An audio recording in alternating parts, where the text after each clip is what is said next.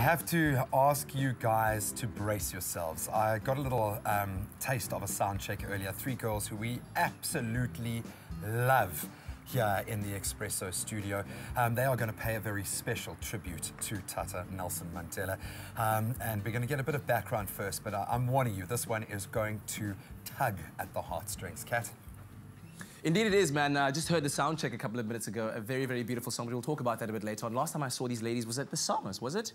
When we were performing on was the it beach? The was it was there. That's how long ago it's been. You it's guys have been, been absent out of my life. What is this? But we feel like we see you every day because Yeah. you know you Because you watch the show every day, right? Yeah, you know you do. You know, but it's good to have you guys in studio and uh, doing this very, very special tribute. But before we get to that, how's the year been for, for you so far? Uh, obviously, the award season was very great for you guys, and otherwise, musically, how's it been going, Dan? Oh, it's been going great. We've opened um, for Mike and the Mechanics, Patrizio, Jamiroquai. We've been doing loads of Afrikaans festivals. We've been performing everywhere, living out of our suitcases.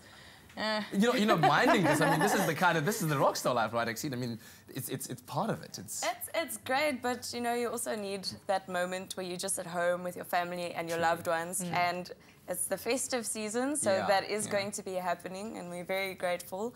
Um, and then we've got an amazing gig happening on New Year's. oh really? Yeah, on New Year's. Do tell. Um, it's at Grand West, Uh-huh. so that's going to be a lot of fun. I think I think anyone can come. Yeah, it's free. Anyone can come, so come and party with us on New Year's. Whoop, whoop. If you ever get the chance to see these ladies live and it's free, you best to be there. You best to be there.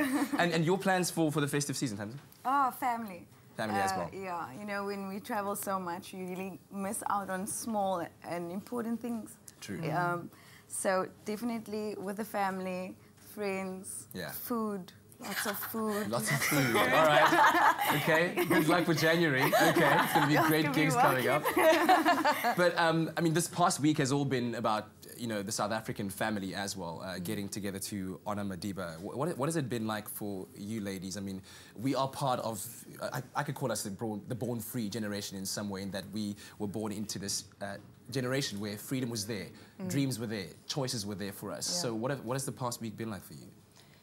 Very emotional and i just think that for the first time i realized that uh, you know proudly south african you know madiba gave us that proudly south african Yeah.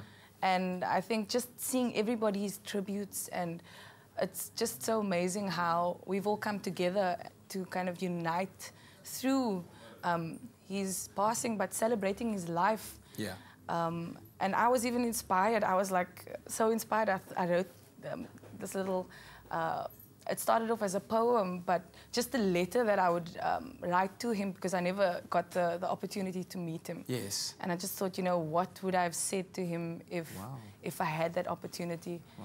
Um, because you you know he'll forever change the world. Yeah, yeah. And yeah, we're blessed that he could be South African and yeah. And, and not just that, the song then became, or the poem became a song, and you got one of the most prolific actors uh, in our country to do the voiceover to the song. Tell me about that, that collaboration with John Kani. that was like completely uh, that was like so by chance um, i said to mike our manager like you know i hear this i hear um, john kani's voice just narrate the, the first part of the song and because you know he's he's like completely transformed south african theater and Yeah. he's he's such a legend and um, i was at um, drama school and i studied about him um, Wow. and I mean, he did the, the audio um, of To Long Walk, Long to, Freedom, Freedom, yeah. Yes, and Mandela's Children as well. Yes. Wow. So it was just like I thought, you know, if there was anyone that we could do a collab with, Yeah. and on such a special um, piece of work, it would be him. Fantastic. And he agreed, and you know, Mike flew him up to Joburg, and he recorded um, the narration Yeah. for the, the beginning of the song, and I. I can't wait like- to hear it. It's I mean, insane. like I said, if It's Soundcheck was anything to go by, really, really special work. We can't wait to hear it a bit later on. In fact, he's watching right now. Hi, Mr. Kani. How are you? Good, good. Thank you for watching. We really do appreciate